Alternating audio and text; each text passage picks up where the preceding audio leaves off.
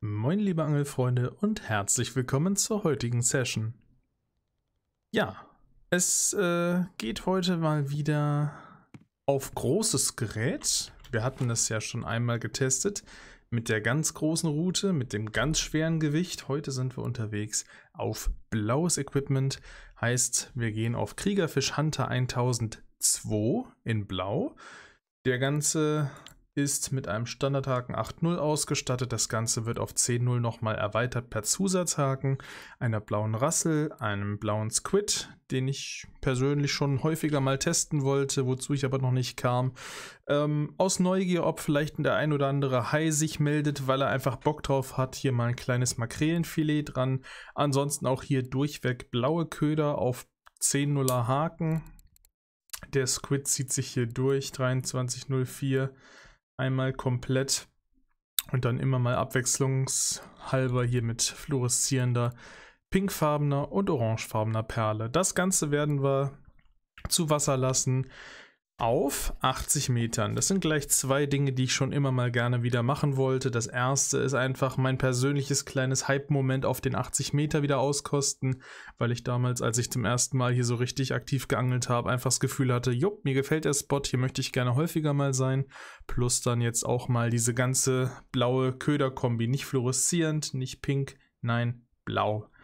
Und in diesem Zusammenhang, lasst uns starten. Ab dem ersten Biss gehen wir eine Stunde gemütlich hier starten.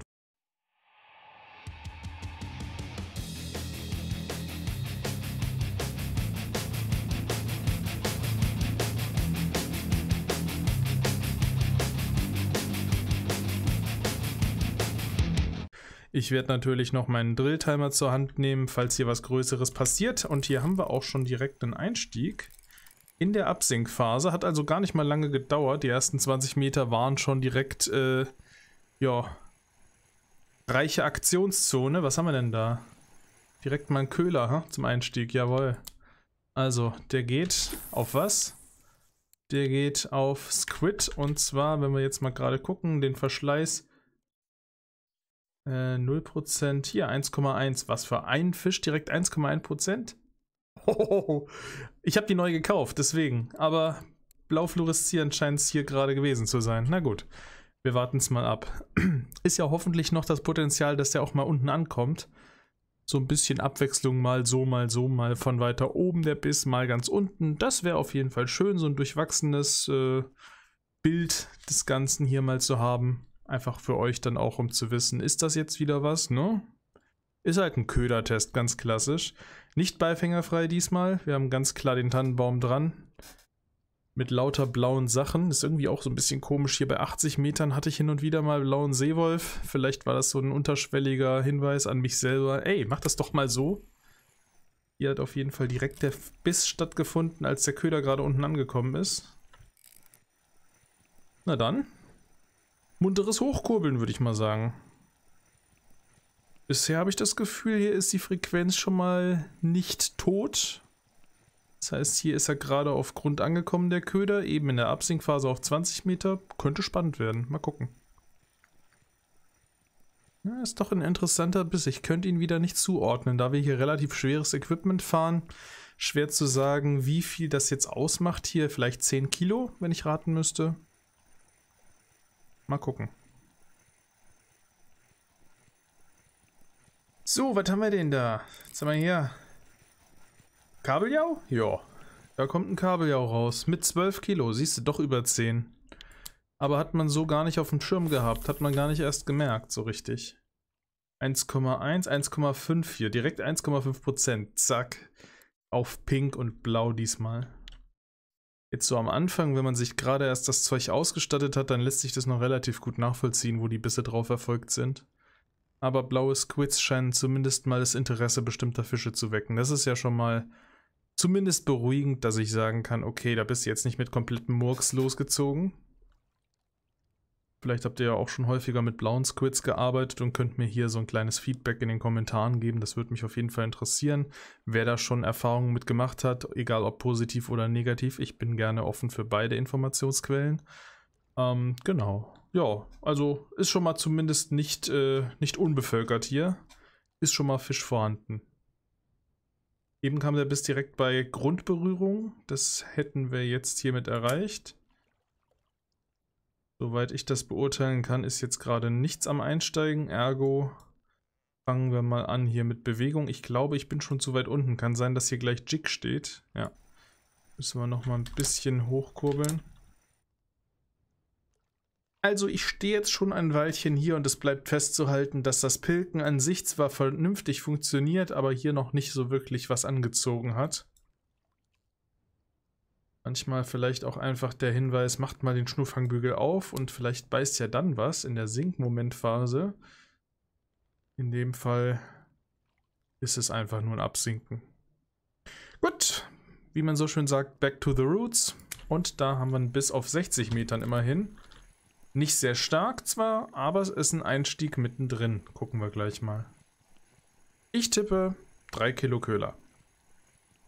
Das ist pessimistisch geschätzt, zugegeben. Aber auch gleichzeitig eher so ein Versuch ins Realistische mit überzuschwenken, weil die nun mal einfach auch in der Sinkphase beißen. Der Biss ist nicht besonders stark. Es könnte ein guter, passabler Wittling sein, möglicherweise. Aber ich denke eher an Köhler. Also, sag mal an, was bist du? 15 Meter, 10 Meter, 5 Meter. Einfach weder das eine noch das andere. Wir nehmen einfach mal 5,5 Kilo Dornhai. Und, liebe Leute, damit bin ich noch einverstanden. Das sieht nach einer guten Größe aus. Die auf 60 Meter in der Sinkphase. Das ist eine schöne, satte Größe. Egal wie der Kescher weiterhin aussieht, dieser Fisch wird auf jeden Fall einen nicht unerheblichen Teil des Ganzen hier mitfinanzieren, dieser Stunde, die wir uns hier aufhalten werden. Viertelstunde, fünf Fische, einer alle drei Minuten. Jo, ne? Genau. Wer Trends setzen möchte, der muss viel testen, so ist das. Aber immerhin, schöne Fische sind schon mal dabei.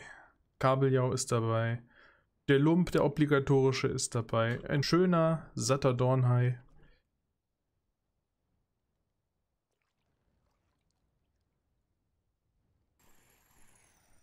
Oh. Ja. Okay, nächster. Ihr wisst ja, wie es läuft, ne? Sobald das Teil hier sich schwer macht, müssen wir es in den Drilltimer aufnehmen. Da waren kurz ein, zwei Ausschläge mit dabei. Ich weiß jetzt nicht, was das zu bedeuten hat. Ob das wieder Richtung Kabeljau geht. Vielleicht diesmal mit Mitte 20 Kilo. Reicht auf jeden Fall noch, um ihn gemütlich hochzukurbeln, den Fisch.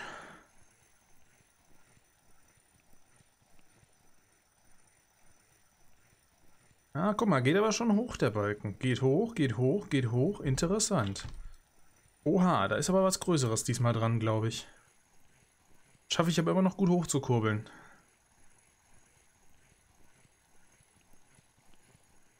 Geht alles noch klar soweit.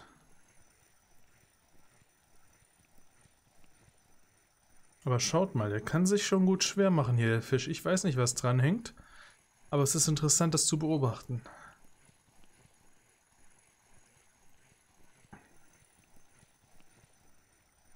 Da auch wieder. Geht wieder hoch, geht wieder hoch, geht wieder hoch.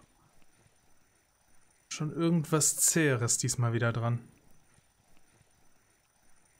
Uiuiuiui, guck mal hier. Ui. Ich kann, ich kann die Route nicht mehr bewegen, Leute. Was hängt denn da dran? Da hat sich aber irgendwas richtig schwer gerade gemacht. Na, das ist doch mal interessant. Da bin ich ja mal gespannt, was wir hier haben. So, die letzten 10 Meter sind angebrochen. Er ist fast oben. Wir gucken uns das gerade mal an. Können wir denn schon was erkennen? Da kommt auf jeden Fall etwas Größeres. Gut möglich, dass das wieder ein Kabeljau ist. Dann hat er aber definitiv er ist ein Kabeljau. Hat aber definitiv über 20 Kilo. Hallöchen Kabeljau, wie viel hast du denn?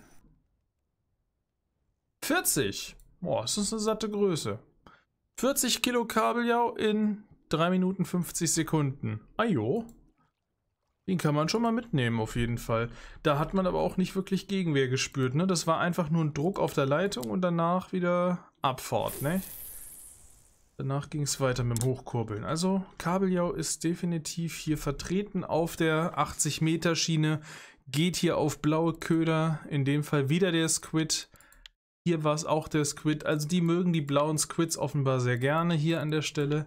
Kann man auf jeden Fall mal mitnehmen, wenn die schon einsteigen. Und wie gesagt, 40 Kilo ist jetzt keine schlechte Größe zudem. Ähm, das macht natürlich dann interessante Vorfreude auf die Verkaufszahlen später. Man muss aber auch fairerweise dazu sagen, es ist schon ein bisschen ruhig hier gewesen.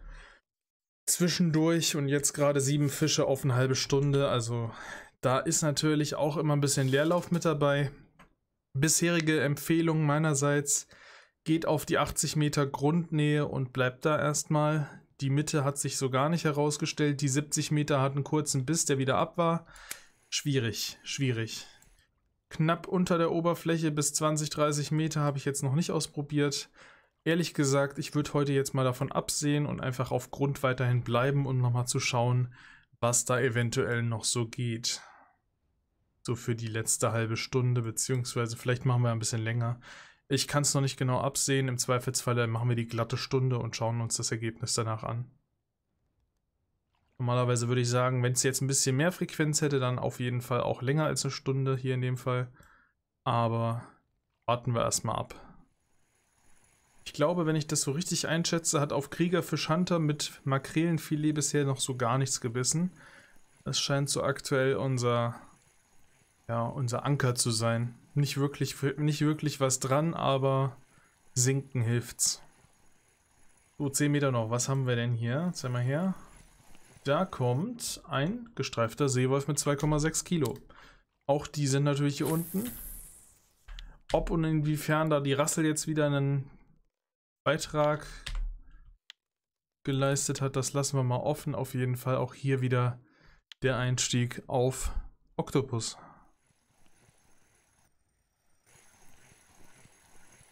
Da guckt euch das an. Die ganze Arbeit für 5,1 Kilo Lump. Also ist das.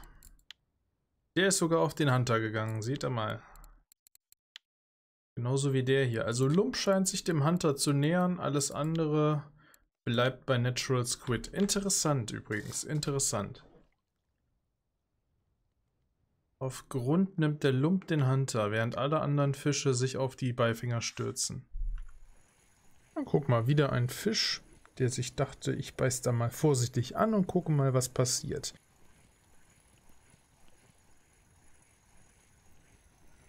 Aha, ein Tiefenrotbarsch mit 2 Kilo. Das ist natürlich ein schöner. Sowas macht natürlich Lust auf mehr. Wunderbar. War jetzt auch ehrlich gesagt nicht so unbedingt der Fisch, mit dem ich hier gerechnet hatte. Auch wieder auf blauen Squid. Das mitten in der Nacht und auf Grundnähe. Ja, warum nicht? Hält die ganze Sache spannend. Und den Angler neugierig.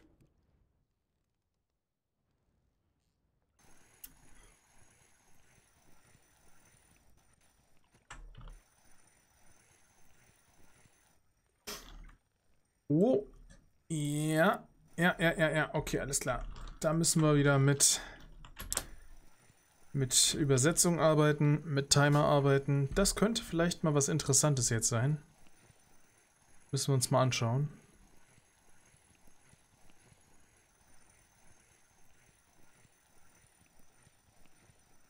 Oh ja, sehr schön. Oh ja. Schön Gegenwehr aufbauen. Schön Gewicht, Gegengewicht. Ja, ja, ja. Oh ja. Oh ja, Herrschaften. Das ist spannend. Ich hoffe, der Fisch bleibt diesmal wenigstens dran. Nicht wieder ein Ausschlitzer wie beim letzten Mal. So, was haben wir denn hier? 15 Meter sind es noch. Also irgendwas mit ein bisschen Widerstand hängt dran. Das sieht nach Hai aus, oder?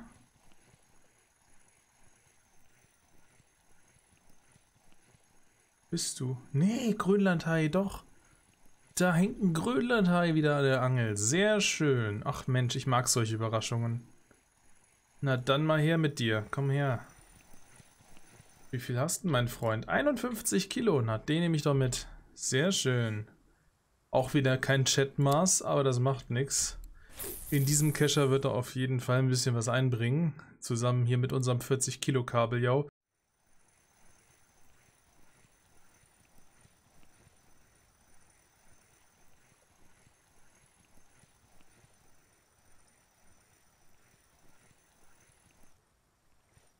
So, Abschlussfisch ist nochmal ein knapp 8 Kilogramm schwerer atlantischer Kabeljau.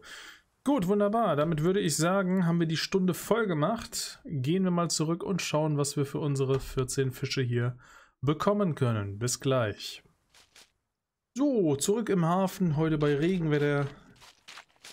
So ungefähr fühlte sich aber auch heute die Tour bei mir an, um ehrlich zu sein. Also ein Fisch alle vier Minuten roundabout ist jetzt leider nicht so effizient, aber wenn man mal reinguckt, also Grönlandhai und Kabeljau mit 40 Kilo, sehr, sehr cool. Auch sonst Kabeljau vertreten hier immer wieder, ist welcher dabei rumgekommen.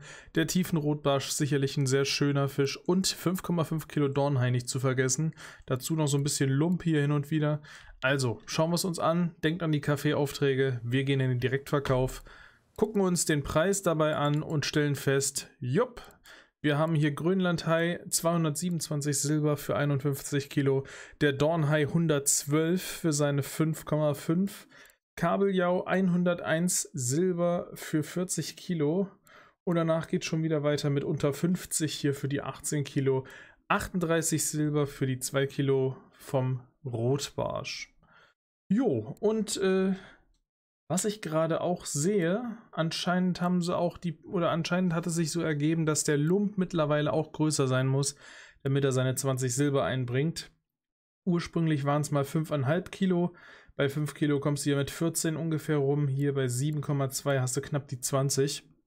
Da fällt mir auf jeden Fall auf, hat der Lump auf jeden Fall ein bisschen an Wert verloren im Vergleich zu früher.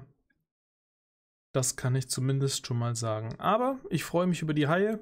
Wir gucken mal, in einer Stunde kommen wir hier auf 661 Silber auf der 80 Meter mit blauen Squids und blauem Kriegerfisch Hunter 1000 auf dickem Equipment. Ich würde mal sagen, ganz vorsichtig, ähm, kann man mal mitnehmen. Ich persönlich empfehle es mal zu testen. Allerdings, allerdings wird es nicht mein Favorite sein, einfach weil die Wartezeiten zwischendurch doch sehr, sehr langatmig sind. Und sind wir mal ehrlich, wäre uns hier nicht kurz vor Schluss noch der Grönlandhai eingestiegen, 433 mit Beifängern ist leider wirklich nicht so ergiebig. Ne? Also da habe ich jetzt in der letzten Folge, die wir gedreht hatten, da waren wir ja irgendwie bei 405 Silber oder so rausgekommen. Da waren wir nur mit einem Jigmeister auf der 34 unterwegs.